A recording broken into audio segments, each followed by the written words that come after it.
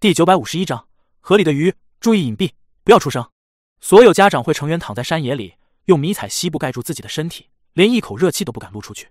很快，一艘李氏的乙级浮空飞艇从天上快速飞过，直到它走远了，大家才松了口气，站起身来，并将西部叠好塞进怀里，等待下一次使用。西部在户外也是非常好的救命道具。如果你困在一个非常寒冷的地方，裹紧西部，它可以反射你身体散发出去的热辐射，从而达到保温的作用。这是荒野生存里最后的一页，因为这块西部能帮你熬过一个寒冷的夜晚，简单却实用。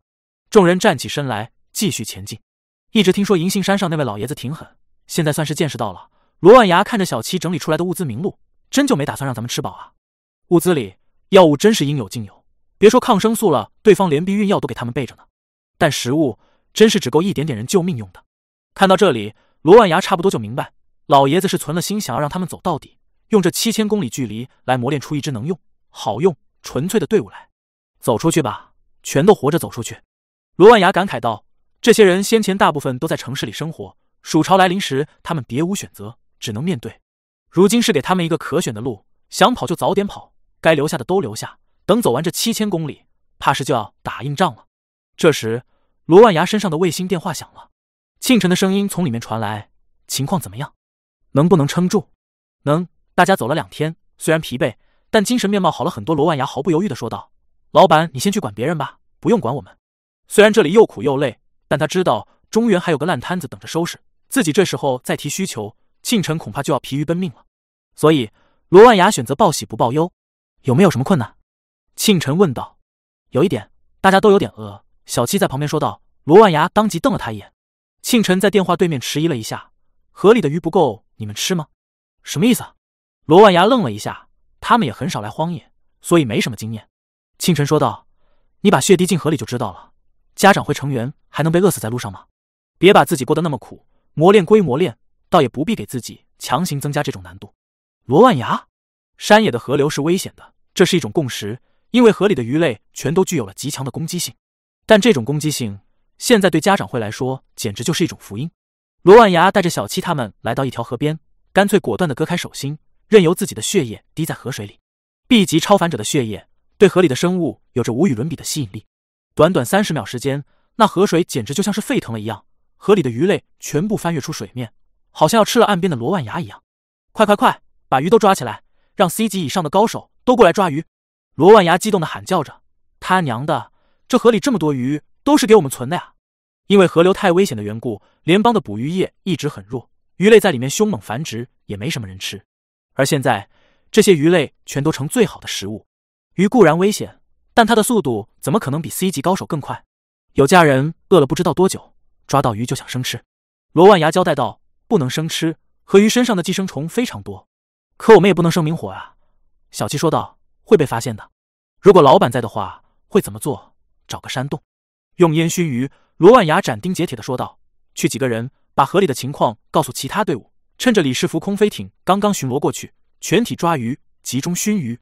家长会忽然停止前进了，所有人聚集在河边，跟疯子一样抓鱼。而河里的鱼争先恐后的送上来，这哪是鱼啊？这分明就是大家的福报。到了第二天，河里就没什么动静了。原本还很危险的河流，现在安全的，甚至可以下去洗个澡、洗个衣服。反正是夏天，衣服干的也快。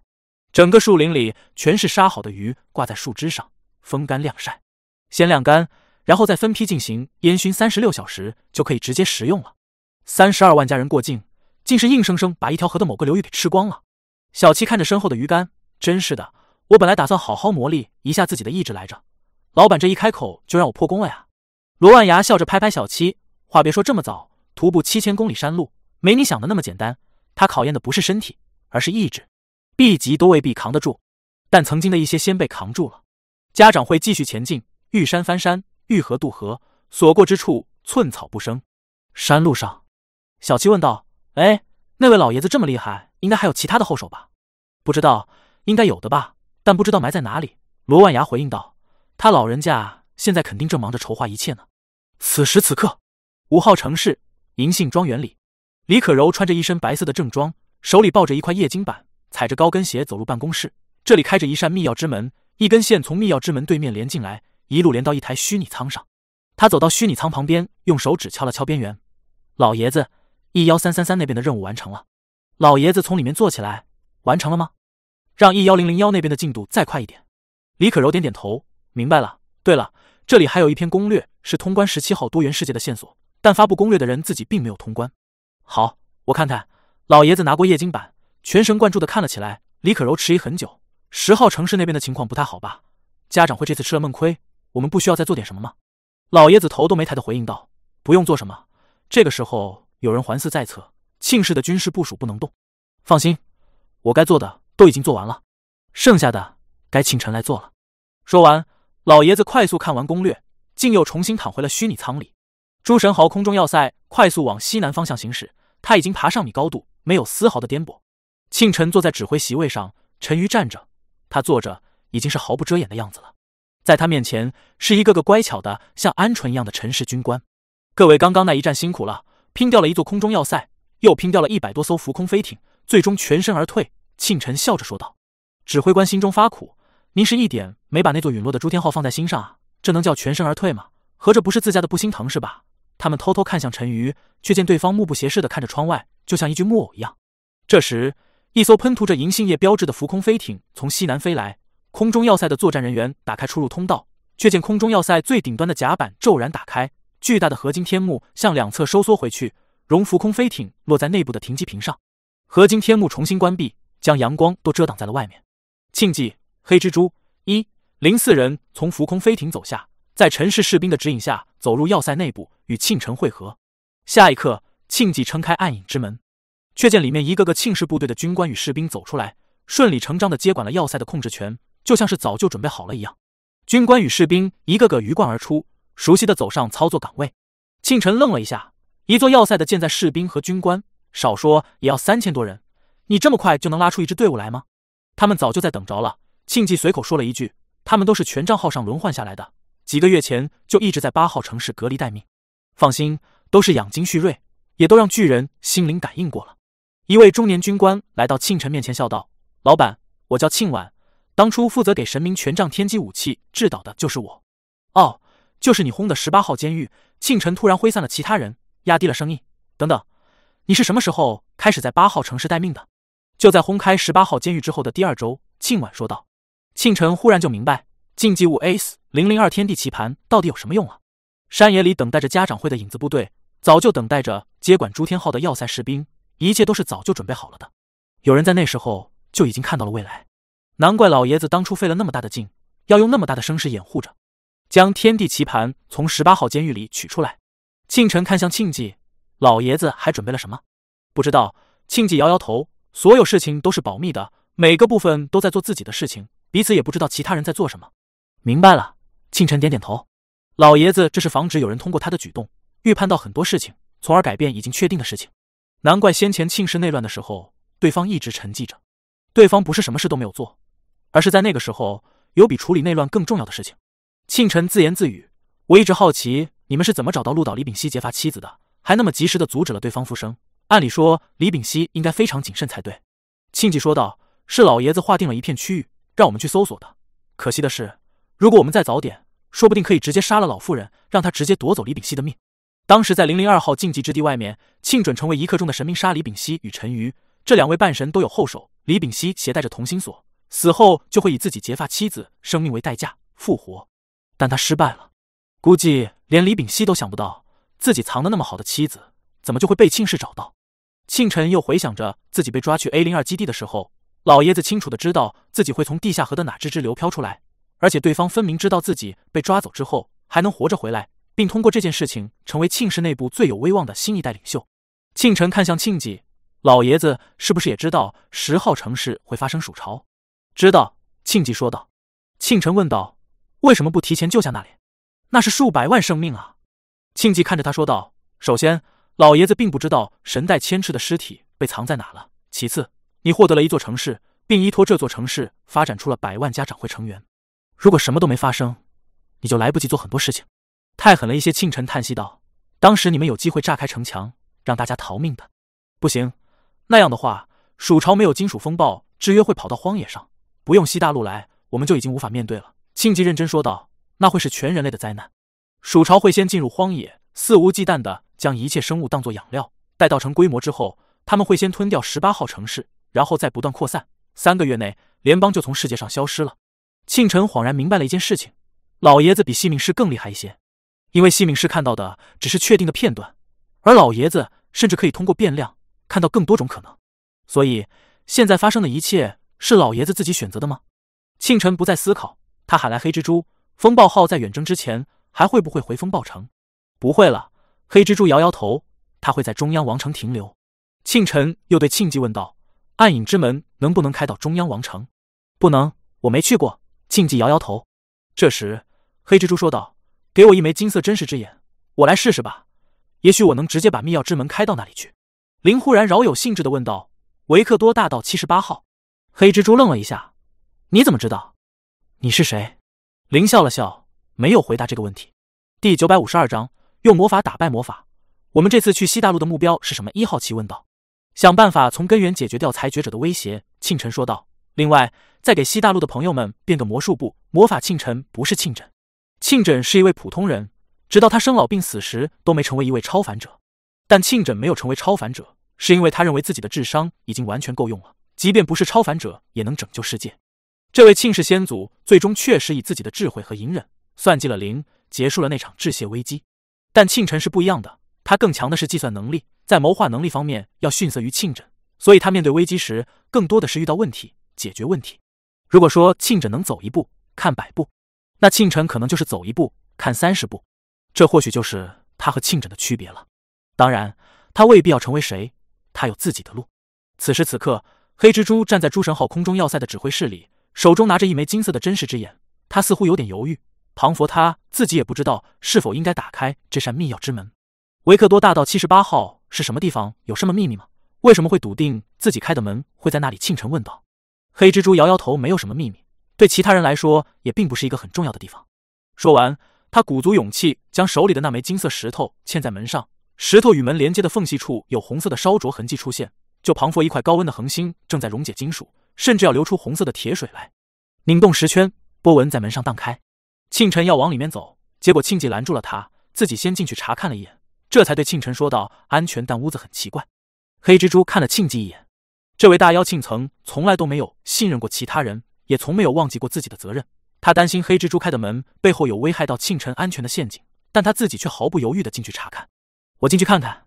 庆晨抬脚走进去，维克多大道七十八号是一栋典型的西式联排别墅，二十多户人家连成一条条长长的街区，每一户都有三层。进入密钥之门，庆晨看到面前的壁炉里满是灰尘，地上的红毯上、墙上都有干涸的血迹。他微微皱起眉头，这栋别墅更像是一个鬼屋。林在他身后说道：“十四年前，维克托大道七十八号发生了一起凶杀案，妻子杀死了丈夫，留下女儿独自一人在寄宿学校生活。”黑蜘蛛跟着走了进来，他轻声说道：“我从小生活在这里，父亲去世之后，母亲又找了一个男人，男人的事业在温迪侯爵手下担任一家纺织厂的经理。”收入比大多数公民都高一些，他会带黑蜘蛛母女出入高档餐厅，也会带着他们一起去海边度假。黑蜘蛛以为这是一位不错的继父，直到某一天他们前往海边别墅，但进入房间后，继父就将黑蜘蛛的母亲反锁进房间里，带着黑蜘蛛去海边捡贝壳。再回别墅时，黑蜘蛛看见温迪侯爵坐上车辆，而母亲则在房间里哭泣，身上都是淤青。那时候的他还很懵懂，只知道发生了很不好的事情。这样的日子过了七年。直到温迪侯爵不再喜欢他的母亲，男人被降职了。男人开始酗酒，喝多了之后便会骂黑蜘蛛的母亲是贱货，是妓女。他的母亲只是默默忍受，没想过离开他吗？庆晨听到这里问道。有，黑蜘蛛说道。我问母亲为什么不离开他，母亲说需要他的薪水生活，供我上学，他可以忍受这一切。后来发生了什么？庆晨问道。我十七岁那年，他喝多了，将母亲反锁在房间里，然后侵犯了我。黑蜘蛛平静地说道。等事情结束之后。他回到房间里睡觉，而母亲则去厨房拿了餐刀，趁他睡觉捅了十一刀。他挣扎着往楼下跑，但踉跄着摔下楼梯后再也没有起身。母亲杀了他之后，因为不想成为奴隶，所以也喝药自杀了。我继续念书，直到在学校里被裁决者组织选中，那是另一个噩梦。黑蜘蛛，这里是我最憎恨的地方，也是我最怀念的地方，挺矛盾的。我一直想要回来把这里收拾干净，但一直没有勇气。庆晨点点头，开始工作吧。黑蜘蛛愣了一下，这种惨烈的经历，一般作为老板，好歹会安慰员工几句吧。结果庆晨直接越过了这些情绪，要开始工作了。林不是说这位老板有情有义吗？还是说自己依然只是个外人，并不值得被关心？虽然黑蜘蛛也并不需要这一切，但当他把这些事情说出来的瞬间，而庆晨又是这种公事公办的态度，让他觉得微有点别扭。此时，庆晨站在壁炉前面，伸手摩挲着上面干涸的血迹。黑蜘蛛瞪黑蜘蛛，立马看过去。庆晨看向他，说道：“先把房间打扫一下，我们接下来就住在这个地方了。”黑蜘蛛好，不用那么麻烦，买几个全地形扫地机器人就好了。我已经下单，等会儿就会有人送过来。”林说道。庆晨愣了一下：“你什么时候下单的？”林指了指自己的脑袋，西大陆机器人的功能比你想象的多。十分钟之后，有送货机器人上门，送来了全地形扫地机器人。却见那几只六爪蜘蛛一样的机器人，先将屋子扫描了一遍，然后开始爬上爬下，全面清理墙壁、屋顶、地板、壁炉。他们肚子后面的脏物袋渐渐鼓囊起来，看起来就像一只真的蜘蛛一样。庞佛使劲捏一下，就会爆开花花绿绿的汁液。庆晨叹息设计者的恶趣味，大半夜我看到这玩意在天花板上，也会吓一跳吧？林笑着说道：“我倒是觉得挺不错。”庆晨看向林：“这不会是你的设计的吧？”林：“是我。”庆晨：“我现在可以走到街上去吗？”会不会被识别出来？只要罗斯福王国还没发现我在帮你，就还可以。”林说道。“但我依旧建议你不要以自己的面目去街上走动。”罗斯福王国已经开始通缉我了吗？庆晨问道。“不。”林摇摇头，“是你的粉丝有点多了。”庆晨愕然，自己作为敌对势力，竟然还有粉丝。临走回密钥之门背后的诸神豪空中要塞，接下来庆氏的军队就归我调配了，不后悔。庆晨认真沉思片刻，不后悔。林笑着走进门里。当然，你如果觉得我某个决定做错了，到时候。你可以直接告诉我，也可以随时解除我的指挥权。我了解人类，所以不会觉得这有什么。这位林依然没有信任人类，这对他来说更像是一场游戏。他会选出自己的最优解，然后等待着人类质疑的目光，以此来证明人类还是一千年前的那个人类，没有什么改变。人工智能也依然无法和人类共存。庆忌也离开了，屋子里只剩下一庆晨、黑蜘蛛三人。临走之时，他还专门割到黑蜘蛛警告：不要有任何小心思，不然我会追杀你到天涯海角。黑蜘蛛没有说话，他只是回到自己幼时的房间里，坐在已经打扫干净的床上，出神的望着窗外。他看见房间里的相框也被扫地机器人当作垃圾一并打包带走，于是赶忙将扫地机器人拦下来，将自己与母亲的合照抱在怀里，继续坐在床上发呆。楼下传来庆晨的声音：“一，帮我调集网络里的所有新闻采访，收集所有人物照片和信息。只有民用网络。”一说到：“其他地方都有数据要塞，没有非常强大的服务器，根本进不去。”没事。民用网络就足够了，庆晨说道。这一次，我们先用魔法打败魔法。一用手上的数据线连接了液晶板，他在搜索民用网络报道时，液晶板便会不断闪过一个个人物照片。庆晨聚精会神地看着那一闪而过的照片，速度极快，正常人看到这一切，恐怕只能看见一个虚影。一忽然问道：“庆晨，你和泱泱确定关系了吗？”液晶板上的画面顿住了，庆晨抬头看向一似的：“怎么了？”“没事。”一摇摇头，液晶板上的画面再次开始闪动。一蜷缩在沙发上，看着眼前的壁炉，不知道在想些什么。到了夜晚，黑蜘蛛正在床上发呆时，外面传来敲门声。他惊醒过来，下床打开门，看见庆晨就站在门外。黑蜘蛛着着庆晨笑意盈盈的面孔，下意识的抿起嘴唇。隔了两秒，他才说道：“能不能不在这里？我们换个地方。还有，我身上有伤疤，你可能需要关掉灯。当然，如果你喜欢伤疤的话，就不用了。”庆晨愣了一下，想什么呢？帮忙去买点菜，做点东西吃。黑蜘蛛脸忽然红了哦，不好意思，我这就去。等等，我可以独自出去吗？为什么不能？庆晨反问。你不担心我去告密吗？比如将你的位置告知罗斯福王室？黑蜘蛛问道。庆晨摇摇头，不担心，去吧。对了，买一身新衣服吧，我感觉你并不喜欢这身黑皮衣。好好的。黑蜘蛛捋了捋头，发匆忙下楼。庆晨在他身后的楼梯上忽然说道：“以后你都不用出卖自己的身体来讨好谁了，起码在我这里不需要这样。”黑蜘蛛回头在台阶下看着上面的那个少年，但这是获取情报与信任的最快方式，这就是我的优势。我很漂亮，不是吗？是的，你很漂亮，但获得情报的方式有很多，你可以不选择这一种。庆晨说道：“去买菜吧。”事实上，就连庆氏密谋司的要损们都经常使用类似的美人计，这是策反敌方核心人物的主要手段之一。大家都不觉得有什么。女性要损甚至会专门接受训练，在情报课堂上，男女间谍脱掉自己的衣服，学者如何放弃自己的人格。学着如何为达目的不惜一切手段，这是时代给予人们的观念。贞操与生命、人格都没那么值钱。李氏、庆氏有好的一面，也有坏的一面，只因为他们也是伫立在民众血肉之上的财团。庆晨认为，他们这些时间行者来到这个里世界，一定要改变一些东西才行。所以密谋司内部现在已经严禁使用这种策反方式了。也许庆晨有些理想化，但他认为这是必要的。待到世界和平的那一天，财团也要随着战争一起烟消云散。黑蜘蛛茫然地走在街道上，走在缤纷的全息霓虹下，他抬头看去，却见左边巨大的全息霓虹在他头顶舞动。一个女人用喘息着的声音说道：“粉红大厦，这里有你需要的一切。”右边是征兵广告，一位男爵西装革履的拿着雪茄、功勋、金钱。女人想要就来加入军队吧，凭自己的双手获取一切。身后是博彩广告，再往前则是公然出售的多巴胺芯片。街上到处都是摄像头，到处都是皮包骨头的奴隶，还有奇装异服的白人公民与贵族。黑蜘蛛站在一扇橱窗前，看着里面好看的白色连衣裙。他走进去，拿着连衣裙走进试衣间换上。然而他看着露肩连衣裙之外那些没有衣服遮挡的皮肤上满是纵横交错的边痕，忽然又沉默着将连衣裙脱掉，重新换上了自己的黑皮衣。店里的销售员看着他，好奇问道：“是尺寸不合适吗？”“合适。”黑蜘蛛回应道。“但我不想买了。”在销售员惊愕的目光里，他走出服装店，径直的往生鲜超市走去。过去的某些生活似乎早就已经离他远去了，而那些生活里给他留下的伤疤，却好像永远也无法抹去。全身换成纳米仿生皮肤可以，但太昂贵了。他过去的账号连带着七个匿名账户被风暴公爵一起冻结了，只剩下一个匿名账号没被发现，但里面根本没多少钱，所以根本换不起。不过黑蜘蛛以前根本没想过这件事情，现在不同了。黑蜘蛛拎着蔬菜回到维克多大道七十八号时，一进门便开门见山的说道：“老板，我要工资。”庆晨转头看向他，想要多少？黑蜘蛛计算片刻，月薪一百二十万，工作十年，他就可以更换全身纳米皮肤了。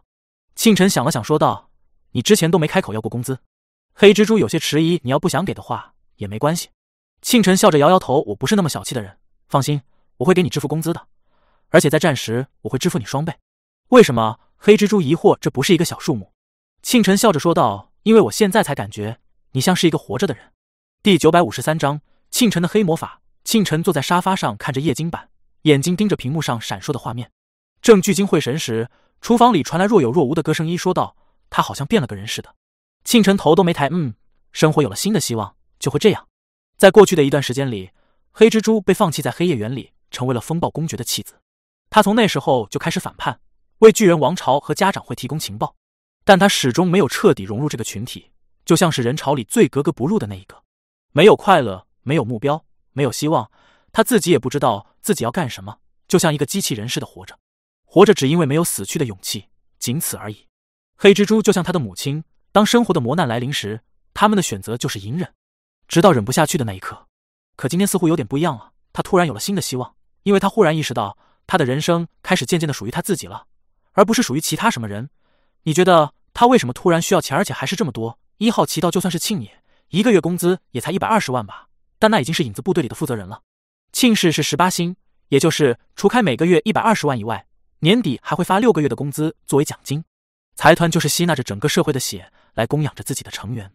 庆晨抬头想了片刻，你当初又是因为什么那么努力的赚钱？依在沙发上不自在的挪动了一下身体，将自己的双腿盖在裙摆。女朋友啊，我都说了，我以后不网恋了。一气急败坏的说道。行吧，庆晨笑了笑，我替那些少女感谢你。一转移话题，你为什么要看这么多照片？记住他们是为了什么？为了我说的那个魔法。庆晨笑着解释道，过几天你就明白了。这时，黑蜘蛛端着三份意面走出来，还有两盆沙拉。我不会做东大陆的食物，你们先凑合吃一下，我尽快学习。一笑着说道：“我不吃饭的。”黑蜘蛛诧异的看了他一眼，似乎又印证了某些猜想。一在一旁问道：“你的真名叫什么？”黑蜘蛛愣了一下，原本轻松的神情竟快速黯然下来。我叫庆晨，拦住了他，笑着说道：“他给我说过，在西大陆不要随便问别人真名，他会以为你想要钳制他。在这里，一旦把真名交给别人，就意味着……”把生死全交到了别人手上。据我所知，裁决者们吸出的一些禁忌物，都可以根据真名来做一些事情。一不好意思道抱歉啊，忘记这件事情了。我就是觉得叫你黑蜘蛛不太好听，你那么漂亮，叫这种名字太恐怖了。黑蜘蛛沉默许久后笑了笑，没关系，我已经习惯了。有一天我会改掉这个代号，但还不是现在。请坐，我有一些问题要问你。你也是裁决者，而且是非常厉害的裁决者，是否可以诅咒一些裁决者？庆晨问道。黑蜘蛛回应：“裁决者彼此是很难相互诅咒的，只有风暴公爵知道所有人的真名和生日。想加入裁决者组织，就必须告知真名和生日。真名是否可以被改变？判定真名的依据又是什么？”庆晨吃着意面和沙拉问道：“是父母给你的第一个名字，户籍信息上登记的名字，别人认为你叫什么名字，亦或是大部分人对你认定的名字，裁决者的黑魔法诅咒其实是一个很古怪的事情。因为一个人可以有很多名字，例如一个人他本名是陈宇，但大家有时候叫他大宇，有时候叫他中宇，有时候叫他小宇，那是只有诅咒陈宇的时候才管用吗？是以其中一个为准，还是以某一个为准？庆晨要先知道这件事情，才能有目标的针对。判定真名的依据是你第一次向别人介绍自己时所说的名字，不可更改。黑蜘蛛说道。庆晨皱起眉头，如果是以这种方式来界定，那罗斯福国王的真名都未必姓罗斯福啊，他很有可能叫德州扑克巨无霸牛肉堡红色内裤。因为这完全是可控的呀，对方只需要跟自己最亲近的父母自我介绍一遍，然后就会有一个谁也猜不到的真名。庆晨会卡 bug，人家也会卡，唯独东大陆有点尴尬。大家第一次自我介绍的时候，大概率都是说的本名。幼儿园要自我介绍，小学也要，中学也要。当然，也会有人真名叫迪迦奥特曼、圣斗士星矢、熊大、喜羊羊、光头强之类的奇怪名字，但这种概率是很小的。黑蜘蛛说道：“抱歉，我曾经也努力调查过其他人的真名。”但失败了。庆晨笑了笑，没关系。黑蜘蛛看着他问道：“不需要惩罚吗？”庆晨问道：“以往你没有办成事情，就会受到惩罚。”黑蜘蛛点点头。他似乎想起一些回忆，身体肌肉有些紧绷。庆晨若有所思：“那你带队搜查我的时候没有找到，也受惩罚了吗？”黑蜘蛛又点点头。庆晨说道：“抱歉，那时候立场不同。”你经常对下属说抱歉吗？黑蜘蛛疑惑。不经常。庆晨摇摇头：“去休息吧，这里暂时没什么事情了。”黑蜘蛛默默地回到自己屋里，坐在那张幼时的单人床上，继续正冲望着窗外。下一刻，他忽然脱掉自己的黑皮衣，只穿着一身内衣坐在床头。月光从外面泼酒在他的身体上，如果没有那些疤痕，这将是一具完美的躯体。黑蜘蛛拿来一柄匕首，用打火机将刀身烧热，然后贴在自己的大腿内侧皮肤上。火热的刀与皮肤贴在一起，发出轻微的烧灼声。他浑身疼痛的额抖起来。可是今天似乎与以往不同，他总觉得少了点什么。黑蜘蛛沉默许久，他忽然拿出自己的液晶板，在网络上搜出庆晨的照片来，一边看着一边烧灼着刀身，然后再次贴在大腿内侧。这一次，他的神情里有着病态的满足感。回归倒计时零点十分零秒，黑蜘蛛坐在客厅里，看着依然在不断观看各种照片和新闻的庆晨，有些疑惑的问道：“老板，你来西大陆已经两天了，但这两天你连门都没有出，只是一直不停的搜索着民用网络，看所有新闻和照片，到底为了什么？”为了一个计划，庆晨抬起头，长舒了口气。其实这件事情里，我的作用并不大，主要还是依靠我旁边的这位女孩。一抬头笑了笑，很有趣的计划。也许下次再来时，你就会知道发生了什么。黑蜘蛛见他们不想说，也就没有多问。他知道庆晨不可能完全信任他，他也还不算是自己人。他平静说道：“那我先回去休息了，有什么事情可以随时叫我。”嗯，庆晨点点头去吧。待到黑蜘蛛离去后，一小声说道：“庆晨。”你和杨洋发展到哪一步了呀？庆晨哭笑不得。你怎么这么八卦了？小孩子不要问这些事情。原来已经发展到小孩子不能听的阶段了吗？一大惊。回归。当世界重新亮起时，庆晨并没有睡觉，而是紧张的忙碌起来。穿越之前，他已经与泱泱告别，回到了金岛之上。此时，他拿着一枚小小的黑色硬盘站起身来，而面前则是一台台计算机和等待着的家长会。庆晨将硬盘插入电脑之中。里面的程序快速分流到上百枚硬盘之中。下一刻，上万名家长会成员分成一百多支队伍，分别拿走属于各自的那枚硬盘，一个个走入密道之中。他们浩浩荡荡地穿过隧道，来到昆仑的任意门基地。空旷的基地里，四周墙壁上嵌着一条条旋转楼梯和一扇扇密钥之门。小七、小五、小三各自领着自己的队伍走上旋转楼梯，在每一层里找到自己的那扇密钥之门，去往自己要去的地方。昆仑成员早早便等在这里。为他们开门，并时刻准备接应。当家长会成员与昆仑成员擦肩而过时，昆仑成员会小声提醒道：“注意安全。”庆晨与郑远东并肩站在天井里，看着家长会成员一个个走进密钥之门，消失不见，就像目送着战士们奔赴战场，奔赴世界各地。家长会如今的队伍真的很壮观。你觉得这个计划有用吗？郑远东问道。庆晨摇摇头，不确定。伦敦，小七带着一百多名家人走出来，他站在门口，拿着一块平板。平板上接着他们刚刚拿到的外接硬盘，平板上跳出一个地图来，标注了路线，并用钟提醒他们跟着导航前往伦敦警视厅。是这里了吧？小七问道。跟着导航呢，应该没有错。一名家人说道。夜里的伦敦警视厅很安静，门口连个站岗的人都没有。小七想了想，说道：“来之前老板交代了，也不能太没礼貌，咱们态度尽量好一点啊。”咱也不懂音啊。有人说道。小七挠了挠头，特么的，你们一个会音的都没有吗？你自己都不会。干嘛一副指责的样子看着我们？这时，小七手里的平板上跳出一行字：“我来帮你们沟通。”小七乐了，老板给的平板还挺智能啊！是不是金岛总部上还有人帮忙实时跟进任务呢？他们走进警视厅，里面的伦敦警察看见一大票人闯进来，顿时就惊了。小七笑容满面的举起平板，语气非常温柔的说道：“兄弟，把双手举起来，自己去一边靠墙站着，别逼我们动手，谢谢合作。”平板上亮出一串音，伦敦警察当场就要拔枪，结果一个个还没反应过来就被制服了。信号屏蔽，出入口封锁，短短十分钟，家长会就完成了从内到外的封锁。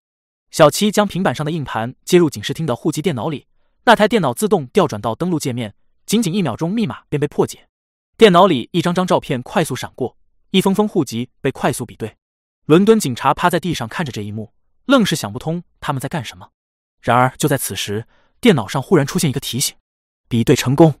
小七看了一眼，点了一名家人出来，说道：“去。”就在伦敦布里克巷二十八号，带他回金岛。那他要是不愿意怎么办？家人问道。他必须愿意。小七认真说道。虽然老罗让咱们人性化一点，但你我要懂事一些，要明白这些人的重要性，而且关系到多少家人的性命。这个时候，我们是在为战争做准备，也没那么多时间去好好劝说他们，所以不要妇人之仁，有什么骂名，我们背着就是了。对了，如果有人阻拦，你记得尽量说几句韩语或者日语。家人吐槽到这时候，还抖这种机灵。放心。我们不会把他们怎么样的，不愿意配合计划的，我们会施展紧守秘秘术，放他们回来，还会给一笔酬劳。小七说道：“这就是庆晨要做的事情了，精准制造时间行者。”他先是在李世界民用网络里搜索大量的新闻报道，在那些新闻里充斥着大量的权贵人物样貌。庆晨确实不知道他们的真名，可知道样貌就足够了。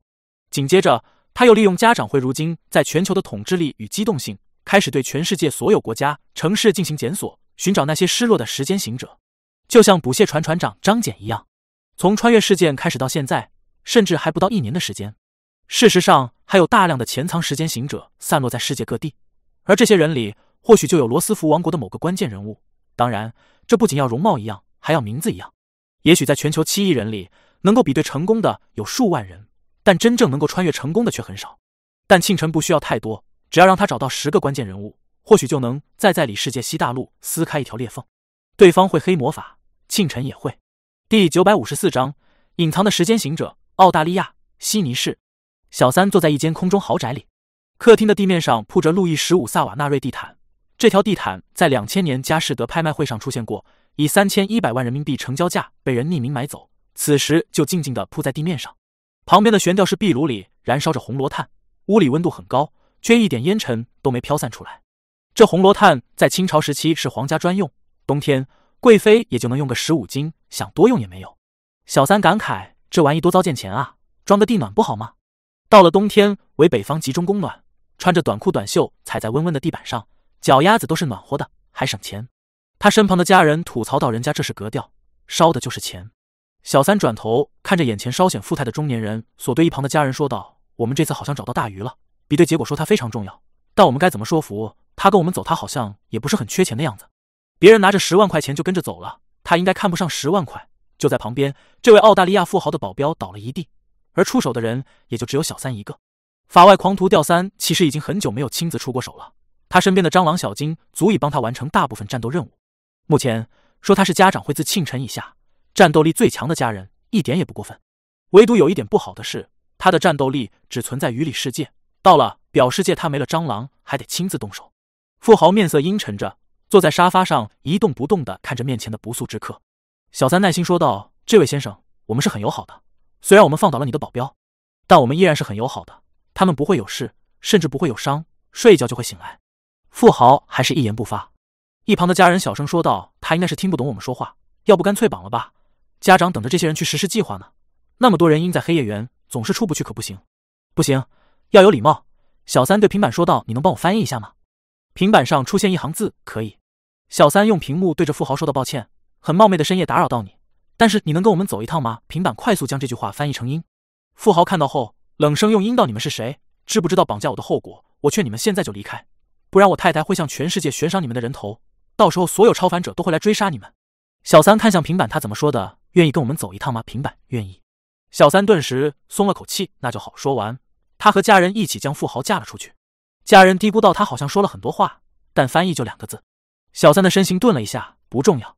下楼时，刚巧电梯里遇到女邻居在对望，看看他们俩信看高豪走进米富豪脸上还溅着保镖的血，顿时尖叫起来。小三和家人面面相觑，小三赶忙对女人说道：“私密马赛，私密马瑟，抱歉，抱歉。”家人则同时说着：“阿西吧。”小三看向家人，家人看向小三，俩人一个说日语，一个说韩语，一个说对不起，一个骂人，硬生生整成了日韩联合行动。叮的一声，电梯门打开，两个快速走入地下车库，并在当地的九州成员掩护下往密钥之门方向撤离。坐在黑色的商务车上，小三还在小声嘀咕着：“下次都说日语，知道吗？”行。类似这样的邀请行动还在世界各地开展着，每邀请一个人，他们都会直接带到金岛上去，送到战争要塞里。这一晚上。一万多名家人通过密钥之门来回穿梭，格外忙碌。但事情进展并没有想象中那么顺利。倒也不是大家遇到了很棘手的人物，而是有些人真的不太好找。国外很多地方的交通也是真不方便。小八比较倒霉，分去了印度。他在户籍库里比对成功了十来个人，结果对方住的地方连个公共交通都没有。昆仑也不可能专门为这个人再开一扇密钥之门。于是小八和几名家人硬生生买了几辆自行车，骑了两百多公里，把目标给请了回来。这真是从晚上骑到日出，穿过了不知道多少村子。小七这边更离谱，他要找的目标还是个吉普赛人，对方开着房车到处跑，闲着没事就住到山里去。还是九州买了情报，才找到目标的确切位置。小七硬生生翻了十来个山头，才找到那群吉普赛人的宿营地。彼此遭遇之后，吉普赛人也不含糊，听说小七他们是要带走同伴的，直接拿枪跟小七他们干了一仗。小七也不想伤人，硬生生围困了他们一天一夜。等他们子弹打光了，才冲进去抓人，太坎坷了。小三给那位澳大利亚富豪蒙上眼睛，待到他们抵达密钥之门后，才解下来。他们带着富豪穿过密钥之门，来到昆仑的秘密基地之中。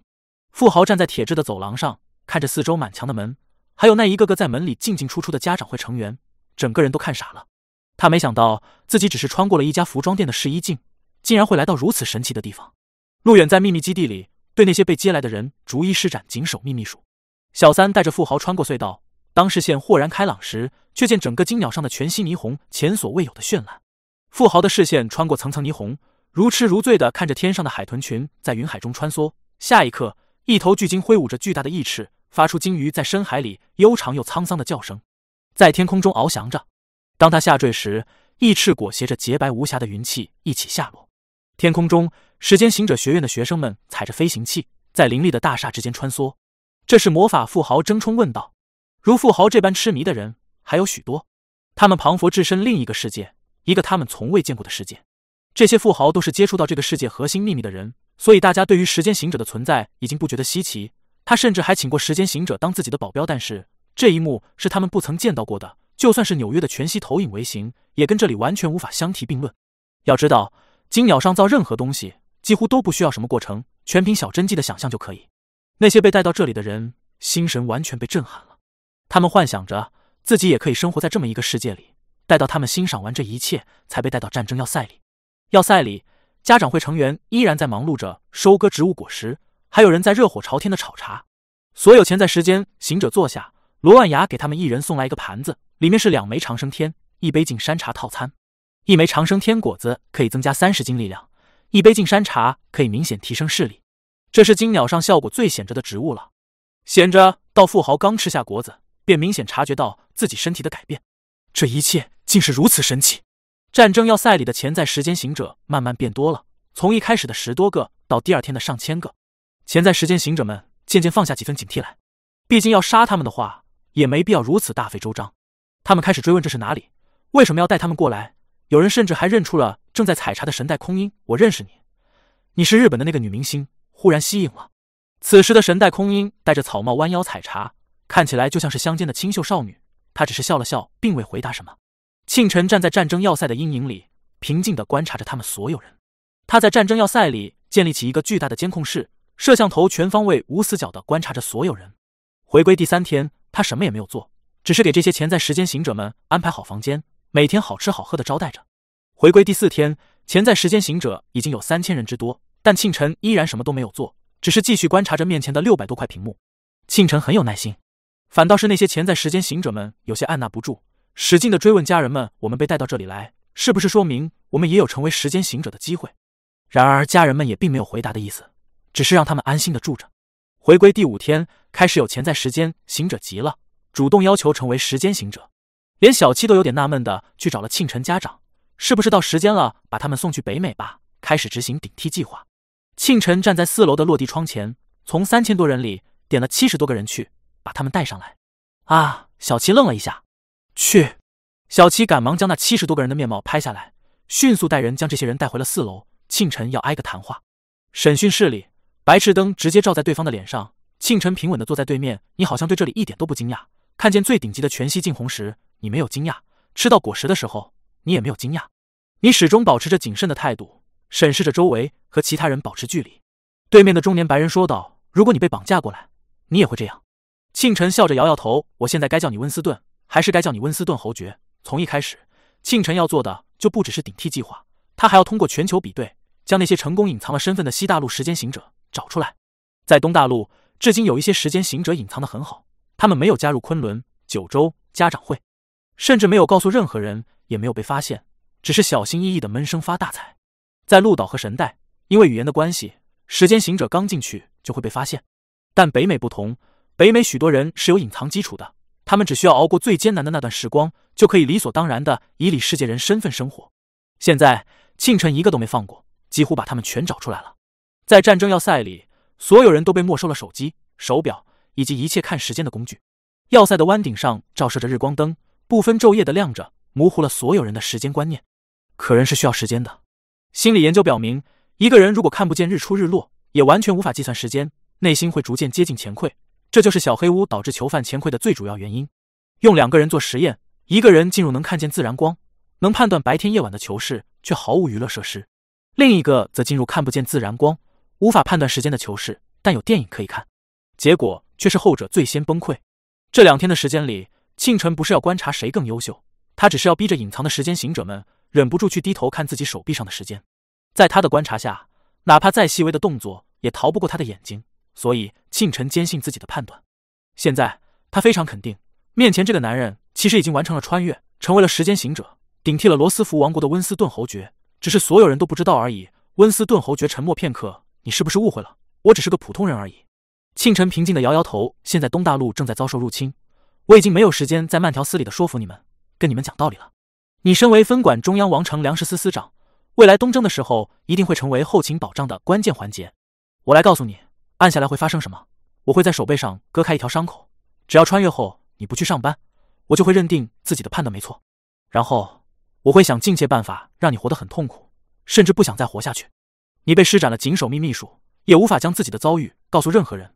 当然，即便你告诉了罗斯福国王。他们也没法在表世界保住你的性命。应该是从上周开始，他们在表世界的势力已经被全部瓦解了。我虽然很想做一个尊重人格、态度友好的人，但相比我身边那些人的性命而言，你的性命已经不是很重要了。抱歉。第九百五十五章生日，庆晨，同为时间行者，我是认真研究过你的。据我所知，家长会不是一个滥用暴力的组织，你也不是一个滥用暴力的人。温斯顿侯爵坐在白色的灯光里，打量着四周肃杀的灰色金属墙。在此之前。我甚至没有觉得你们在表世界是一种威胁，但我错了。庆晨沉默片刻，说道：“人生要有取舍，每个人的人格固然平等，但我在乎的那些人的生命确实要比你们重要一些。”温斯顿说道：“明白了，我确实早就成为了时间行者。很好，开诚布公就会省去许多麻烦。”庆晨说道。温斯顿侯爵坐在审讯室里，惨白的灯光打在他脸上，所以我现在是不是没得选了？必须配合你们对抗罗斯福王国？是的，庆晨说道。但我觉得。你也没必要那么沮丧。等我们成功了，你也是功臣。温斯顿侯爵苦笑道：“你们拿什么赢罗斯福王国？怨我值？就算你们联合了巨人王朝，也不算什么。他们离开了禁忌之森，在现代战争里并不会有太大作用。我需要你们承诺，就算失败了，也不暴露的我的身份。”庆晨摇摇头：“你现在最好发自内心的祈祷我们会胜利，因为大家已经是一条船上的旅客了。我们失败，我就会把你们全都交出去。”温斯顿侯爵，庆晨笑着说道：“放心。”我们一定会成功的。你们打算利用我干什么？温斯顿侯爵平静问道。我的权力并不是很大。下次穿越之后，我们会建立里世界的联系方式，到时候有指示会告诉你的。庆晨起身，在战争结束之前，你只能待在这座战争要塞里。温斯顿看着庆晨离去的背影，等等。那我现在已经是你们的人了。先前那些果子和茶，是不是能再给点？还有，你们有修行传承吗？我听说过，你们家长会有几十万人在修行，而且修行的速度很快。对了，我听说接受灌顶还可以活得更久。庆晨背对着温斯顿时，嘴角微微勾起。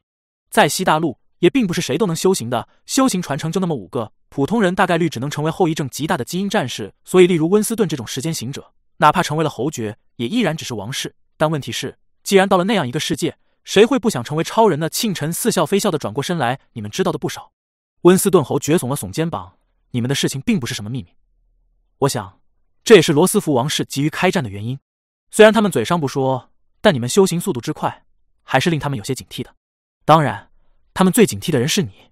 庆晨想了想，说道：“修行传承是不会给你的，但你每完成一次任务，我们就会安排一批人给你集体灌顶一次。大概完成三十六个任务，就可以直接灌顶成 B 级，而且还会增加二十一年的寿命。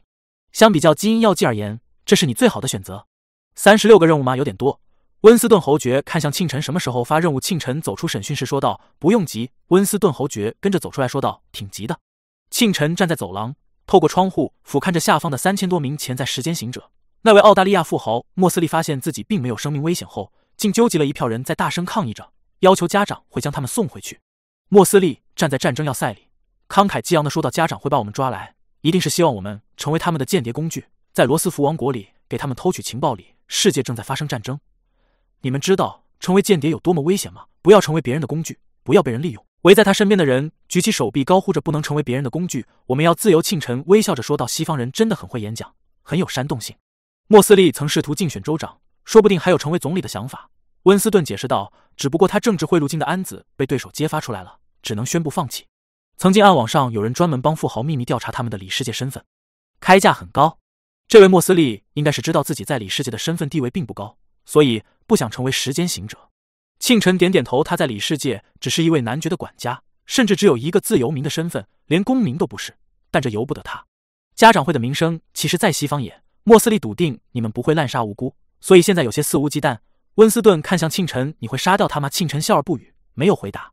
他确实不会杀莫斯利，但他不杀莫斯利，倒不是因为他有什么底线，而是他不希望其他人恐慌。就比如温斯顿，他就正在观望家长会的做事风格。以此来决定自己以后的态度。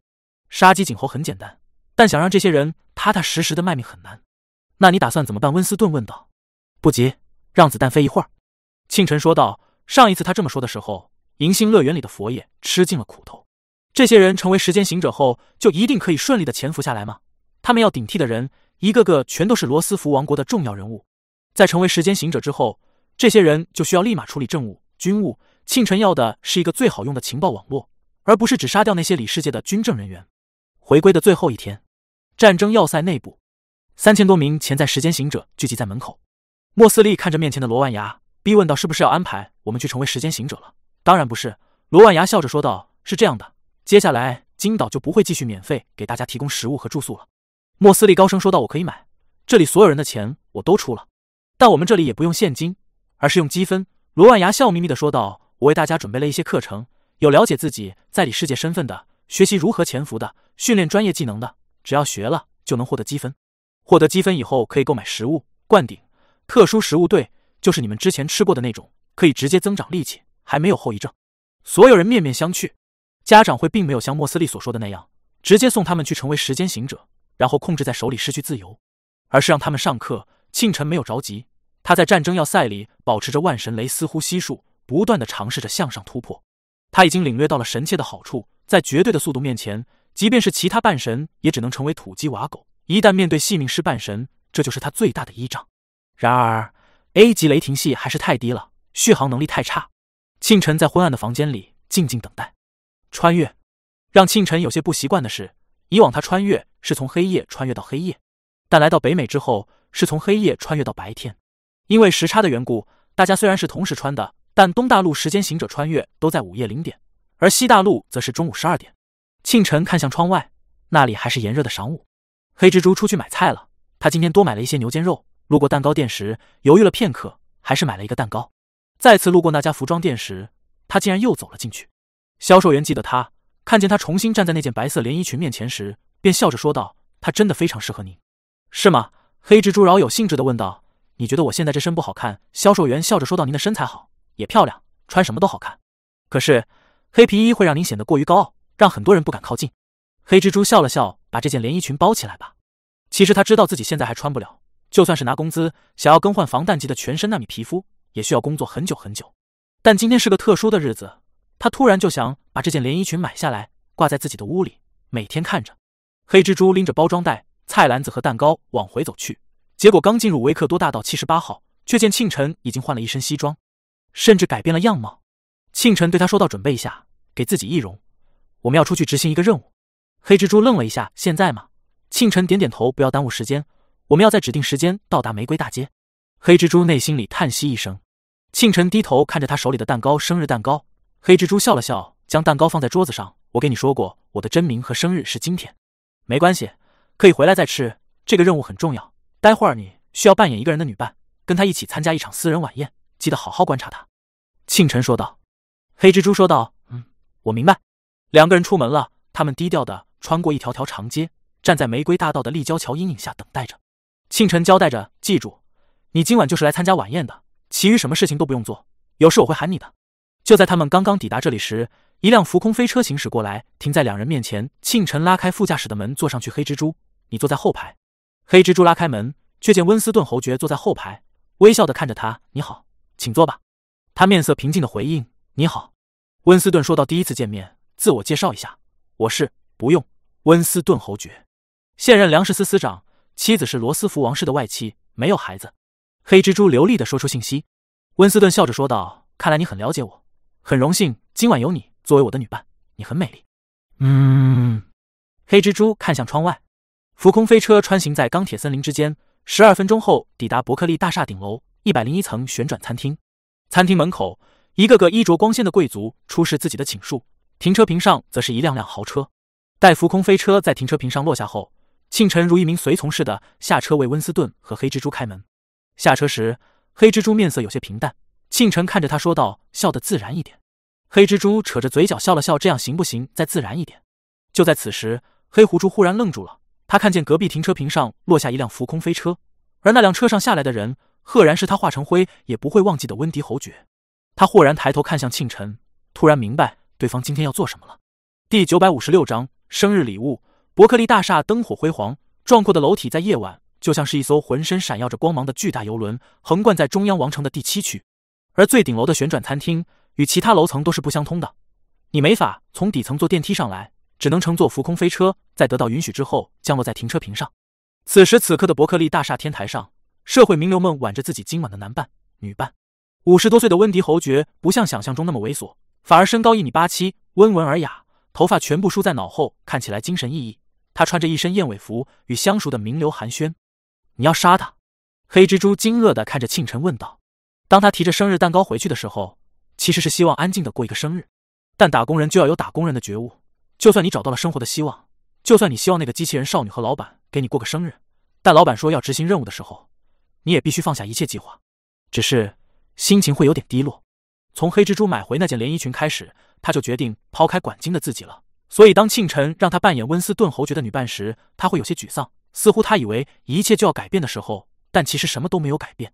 然而这一刻，他忽然意识到。庆晨其实并没有忘记自己的生日。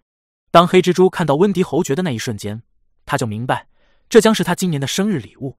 自从母亲自杀之后，他就再也没有收到过生日礼物，而且是如此特殊的生日礼物。难怪对方一定要选在今天执行这个任务。庆晨笑着说道：“你声音再大一点，所有人都会知道我要杀他。”四黑蜘蛛有点手足无措，根本不像是曾经的那个裁决者组织的行刑官。他压低声音说道：“温迪侯爵旁边是有保镖的。”两个都是 A 级基因战士，我不是说你杀不了他们，而是你总不可能悄无声息的杀死他们吧？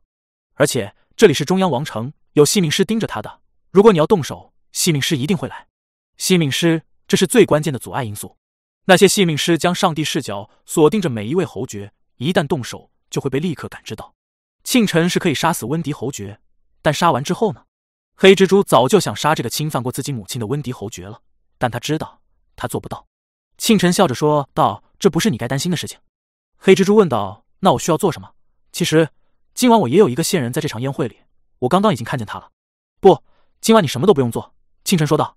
黑蜘蛛忽然低声说道：“谢谢。”“不不不不。”庆晨摇摇头：“我可不是为了你。”啊！黑蜘蛛愣了一下。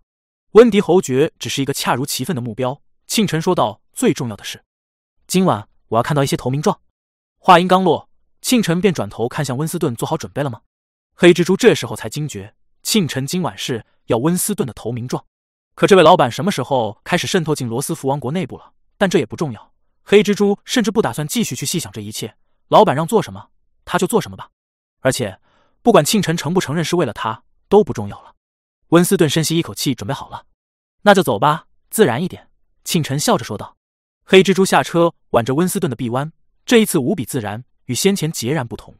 庆晨跟在两个人身后，就像是一个真正的随从。温斯顿笑岔，小声问道：“这位女士，该怎么称呼你呢？”黑蜘蛛捋了一下头发，笑容满面的低声说道：“我是老板的人，做好你自己的事情，不该问的不要问。”温斯顿这时。温迪侯爵竟主动朝他们走了过来，温斯顿则非常谦卑的躬身：“您好。”这位温迪侯爵的目光停留在黑蜘蛛脸上，这位女士是，即便黑蜘蛛有易容过，依然无法遮掩她的美貌，而且易容之后的黑蜘蛛更像她的母亲了。要说这位温迪侯爵的审美也比较单一，就连他身边的女伴都和黑蜘蛛的母亲有几分相似。庆晨原本担心黑狐蛛看见仇人分外眼红会导致露馅，然而黑炫蛛非常坦然的笑扬说道：“詹妮弗，詹妮弗小姐。”稍后可否请你跳支舞？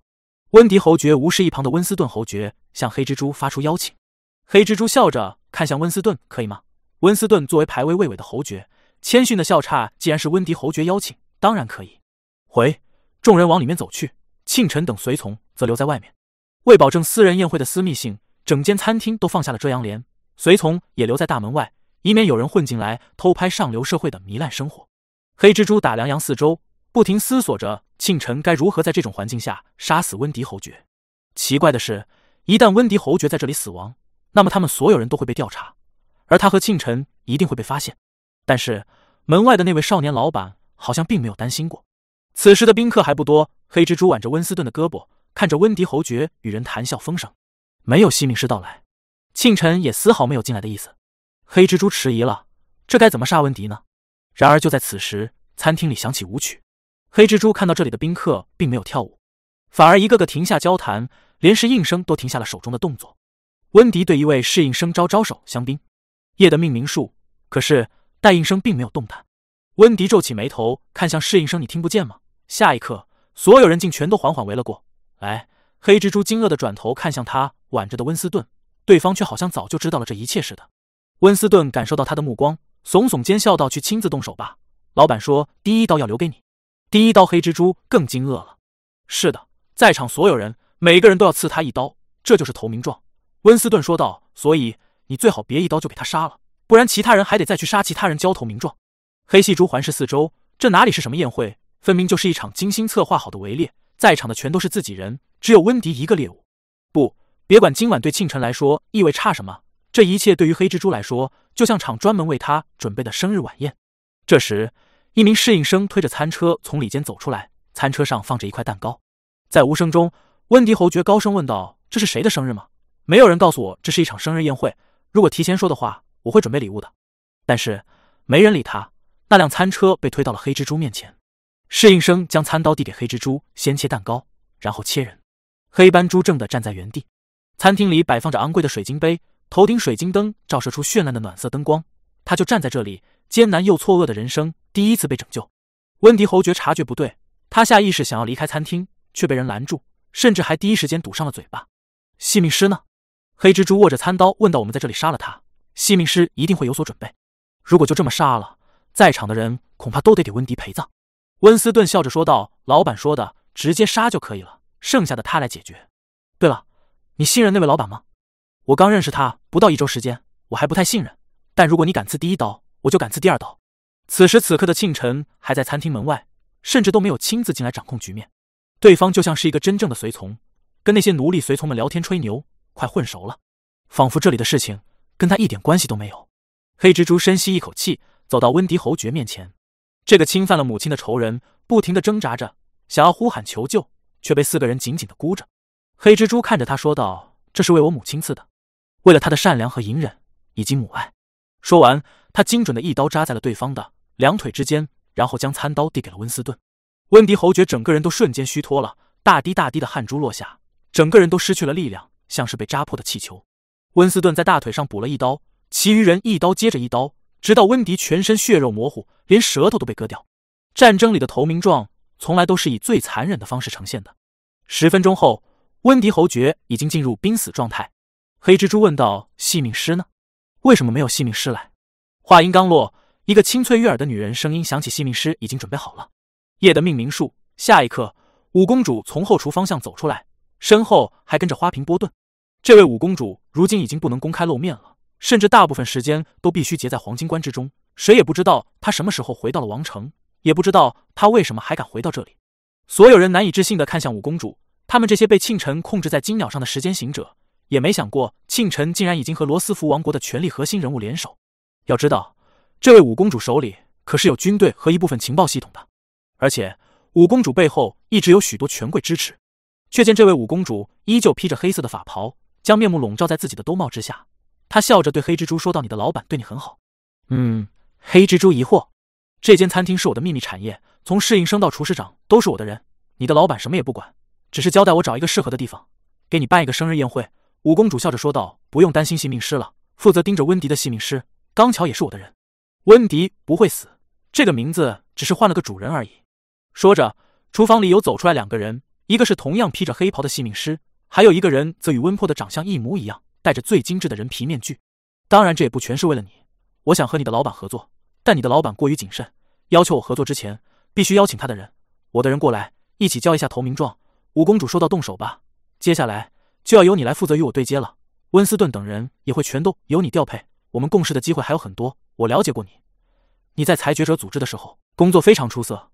如果不是庆臣捷足先登的话，我会希望把你招揽到麾下。”温斯顿看向黑蝴蝶，似乎你还不知道，老板打算让你负责管理我们。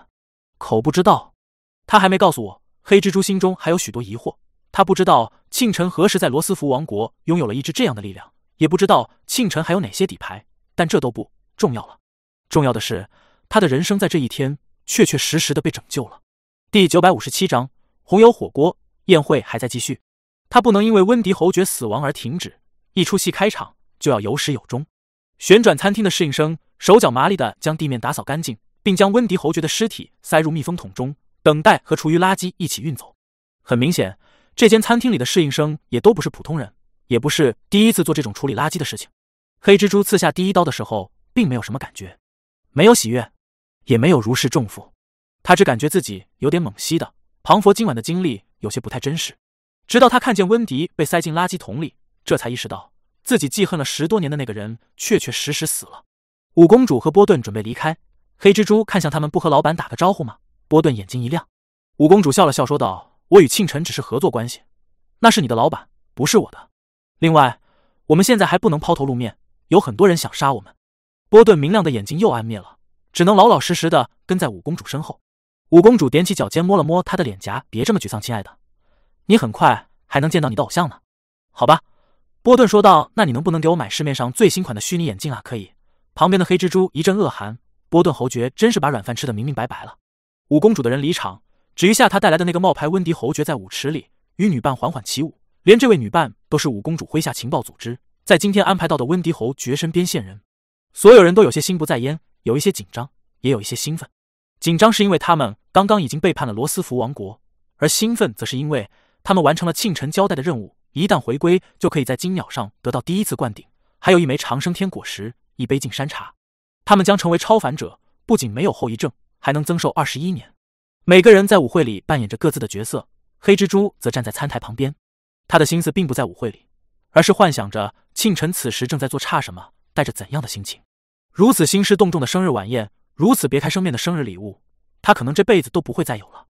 有时候人生就是这样，突然某一天，你遇见了一场美好的风景，你见到了惊艳的人，经历了刻骨铭心的事，你过去的人生里所有黑暗都被照亮，往后的人生都只配做这一段人生的余韵。此刻。黑蜘蛛就是这样的心情。温斯顿侯爵来到他身边，看他心情不错，便笑道：“可以请你跳支舞吗？”黑蜘蛛收敛了笑容，看过去，不行。从明天开始，把你们手上的工作全都形成字材料交给我，我要知道你们能做什么，不能做什么。温斯顿笑着摇摇头：“你曾经是裁决者组织的行星员，难道还需要我们来说这种最基础的事情吗？”照做。黑蜘蛛说道：“好吧。”你们为什么听命于老板？黑蜘蛛问道。那他在表世界把我们全都揪出来了。斯顿无奈道。我其实躲藏的挺好，已经生活在穷乡僻壤的郊区了。结果家长会成员骑了四个小时的摩托车，跑到山里包围了我。黑蜘蛛愕然，他终于知道庆晨先前那几天在干什么了。温斯顿继续说道：“我猜接下来还会有更多人穿越进来。你知道顶替计划吧？就是他们找到一堆人，顶替里世界的重要人物。原来这就是老板说的黑魔法，黑心魔法吗？”晚宴散场，黑蜘蛛挽着温斯顿的臂弯走出来。他幻想着看到庆晨微笑着站在夜色里看他，就像是一个迟到的救世主，对他说：“不好意思，我来晚了。”亦或是站在天台边缘，留给他一个背影，一副高深莫测的样子，问他喜欢我安排的这一切吗？这就是如今庆晨在黑蜘蛛心里的形象：强大、神秘、令人仰慕。然而他还没出门，却听见庆晨在跟随从们打牌赌博的声音：“不要赖账啊！我是同花顺，你们最大的就是一对。”拿钱，黑蜘蛛，各温斯顿，这算是司机保镖们的固定科目了。当大人物聚会的时候，小人物们就会在外面聊天、吹牛、赌博。平日里大家也都熟悉了。今天随从们看见庆晨这个新面孔，便相互使了个眼色，想要给庆晨做个局。庆晨本来坚持不赌，后来实在没办法，便加入进去，把所有随从身上的钱全都赢走了，忍痛赚了八万多。庆晨离开时，随从们看察他的背影，心痛到无法呼吸。这个月又白干了。黑蜘蛛看到这一串，便有些哭笑不得。谁能想到，如庆晨这样的人物，竟然会毫无架子和底线的和一群奴隶们蹲在餐厅外面赌钱？三个人坐在车里，浮空飞车自动驾驶着，穿过钢铁之森，穿过一个个荒诞又魔幻的全息霓虹。前方的霓虹是一片蓝色的潮汐，当他们穿梭而过的时候，就像是从蔚蓝的海水里飞出来一样，一头扎进了夜色。车上三人都沉默善，庆晨还在笑岔说道：“他们以为我是新手，我一开始输了五千多的时候，他们还提议小赌注不过瘾，换了大赌注后。”全都哭了，你们都给我记住啊！赌博是个非常恶劣的事情，恶劣的地方就在于它会让你的钱来得太快，它会颠覆你的价值观，让你渐渐看不上自己的工资，觉得每个月辛辛苦赚那么点钱很没意思，渐渐的就失去了对生活的热爱。庆城，我手下的人都不许沉迷赌博，让我发现了，有一个算一个，全给你们送监狱里去。黑蜘蛛安静的听着，这位新老板好像非常讨厌赌博的样子。是了，应该与他那位表世界的赌徒父亲有关。他听着庆晨难得唠叨一次。只觉得对方充满了烟火气，根本不像是一个高高在上的人物，就生活在他身边，跟他处在同一个世界里。浮空飞车在经过玫瑰大道的立交桥阴影时，将两个人放了下来。庆晨与黑蜘蛛并肩往回走着，他突然说道：“不管你怎么说，今晚都要谢谢你。”嗯，庆晨点点头，接下来要好好工作。今晚这些人都是用来填补你情报网络的，我期待有一天你这边能给我提供非常大的助力。你记住，我不是为了你才帮你，我是为了东大陆帮你。会的。黑狐猪说道：“一定会的。今晚之后，我已经没有遗憾了。”庆晨说到：“风暴公爵呢？”黑蜘蛛愣了一下，他压根没有把这个目标列入自己的计划里，只因为他认为不可能有机会杀死对方，也不愿意再去为难。但要说不恨风暴公爵吗？怎么可能？对方在那间暗室里夜复一夜的鞭打他，让他修行，也都是为了让他更耐打一点。一开始的风暴公爵可没想过要重用他，是他靠努力争取来的行刑官职位。原本她是个再正常不过的女孩。可如今，他却每日都需要身体上的伤痛刺激来填补内心里的某种痛。这一切都是拜风暴公爵所赐。但是杀风暴公爵，对方马上就是罗斯福国王了，怎么杀？黑蜘蛛停下脚步，怔怔的看着庆晨继续往前走。庆晨笑着说道：“觉得很难是吗？我也觉得很难。